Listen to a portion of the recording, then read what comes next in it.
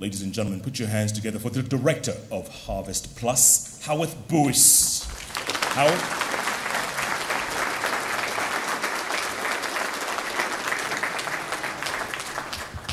Biofortification can make a significant contribution to the overall solution of making agriculture more nutritious. It can lead the way in demonstrating the cost effective investments can be made to link agriculture and nutrition. Biofortification has the potential to reach hundreds of millions of people multiple times per day at low cost.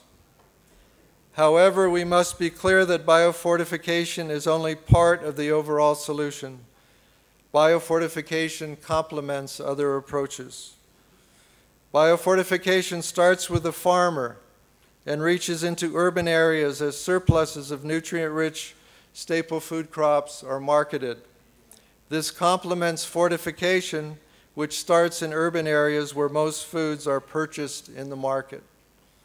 We believe that biofortification will be highly sustainable. To make this potential for biofortification a reality, the final step is to support the desire of leaders and practitioners across many sectors and geographies to build efficient and effective pathways to scale nutrient dense staple food crops. My fervent hope is that we can widen our current network of individuals and institutions during the conference to provide competencies that we require to achieve scale.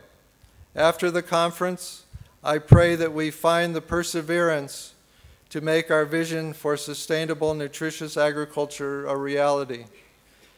I thank you in advance for your active participation, commitment, and creative energy in the upcoming deliberations. Thank you very much.